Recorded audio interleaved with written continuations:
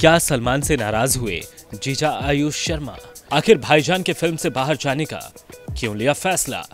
जी हाँ हाल ही में खबर मिली कि सलमान खान के जीजा आयुष शर्मा ने उनकी फ़िल्म कभी ईद, कभी दिवाली से बाहर निकलने का फैसला किया है।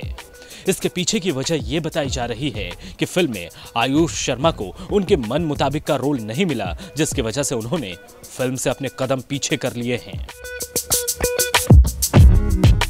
आयुष शर्मा और सलमान खान पहली बार film, Antim, the final truth में एक साथ नज़र आए थे। और अब दोनों दूसरी बार स्क्रीन शेयर करने वाले थे। लेकिन अब ऐसा नहीं हो रहा। रिपोर्ट के मुताबिक, सलमान के बहनोई आयुष शर्मा ने फ़िल्म के अपने हिस्से की शूटिंग भी शुरू कर दी थी। और यहाँ तक कि पूरे दिन की शूटिंग भी पूरी की। लेकिन अचानक उनकी फ़िल्म, कभी ईद, कभी दिवाली को छोड़ देने से सभी को गहरा झटका लगा है। वहीं आयुष शर्मा के बाहर जाने के साथ फ़िल्म जो पहले 30 दिसंबर को रिलीज़ होने वाली थी, अब उस पर भी संकट मंडरा रहा है।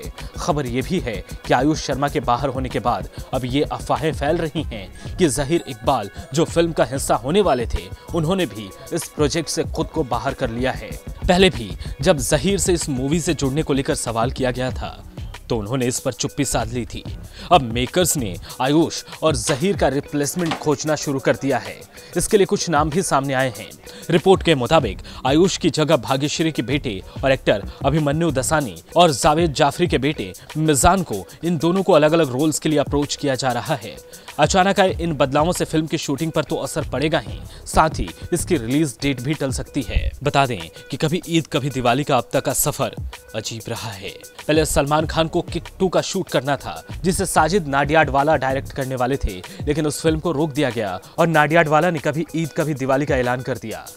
और डायरेक्शन की ज़िम्मेदारी उन्होंने फरहाद सामजी को सौंप दी। ये वही हैं जिन्होंने बच्चन पांडे को डायरेक्ट किया था। हालाँकि वो फ़िल्म बॉक्स ऑफ़िस पर बुरी तरह पिट गई थी। फैंस उम्मीद जता रहे हैं कि उनकी इस फ़िल्म का हसर अच्छा ही हो। खैर, अभी इस फ़िल्म को लेकर कितने ट्विस्ट एंड टर्न्स आते हैं, देखना दिलचस्प होगा। गौरतलब है कि सलमान की फ़िल्म कभी ईद, कभी दिवाली में पूजा हेगड़े, राघव जोयाल और तेलुगु अभिनेता वेंकट